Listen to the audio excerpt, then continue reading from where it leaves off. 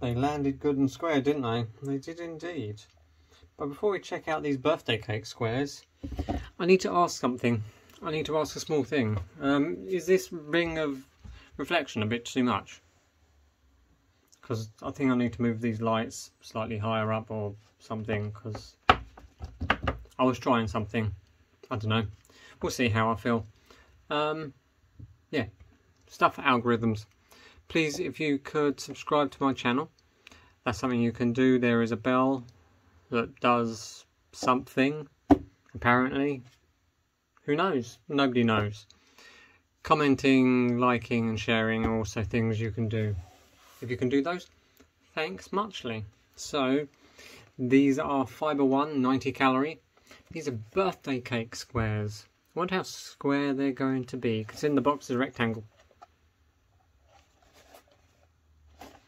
These came from Lidl. They won't have them now, but you can get these in other places. And these were, I believe they were 99 pence. 99 pence for five birthday cake squares. It's got words on the back. I'm trying to find what the ingredients are. There they are. Ingredients found here. Have you read them? May contain tree nuts. You are aware of that? It may contain tree nuts and suitable for vegetarians. You vegetarians out there can rejoice. Maybe. So we need to lift this tab and see what they're like inside. Yep, this is going to go well, isn't it? How square are they going to be? Oh, okay. There they are. There's a little packet in the packet, and I think they are relatively square. They're quite small as well. Obviously, they've got to get them down to 90 calories high in fibre, so will not interfere with pooping. Or maybe even aid with pooping.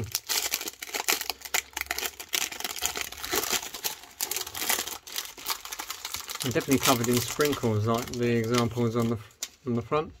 Here they are. It smells cakey.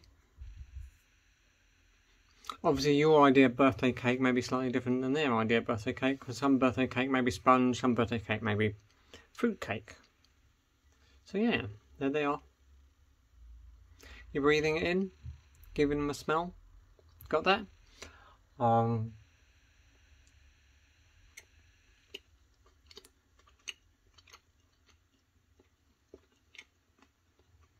hmm, not too dry. Soft texture.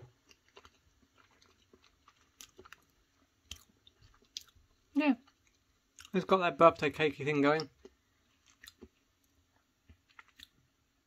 There is a bit of a odd aftertaste.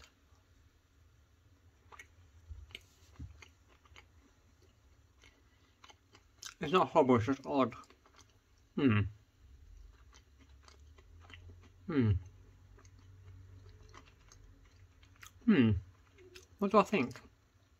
I think I'm going to finish this bit. Um. And then I'll give you my thoughts. Thoughts.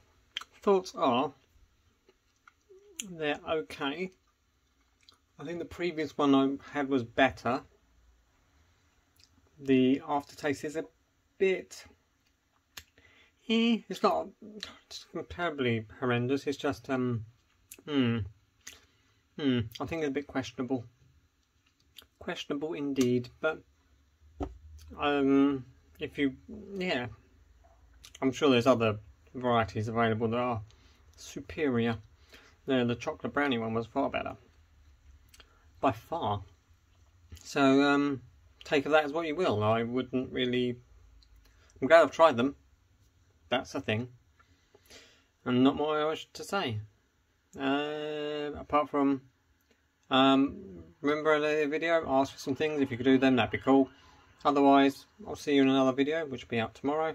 Otherwise, also in addition, and there are videos around here you can view to pass your eyes upon in the meantime, till tomorrow. Ta-ta!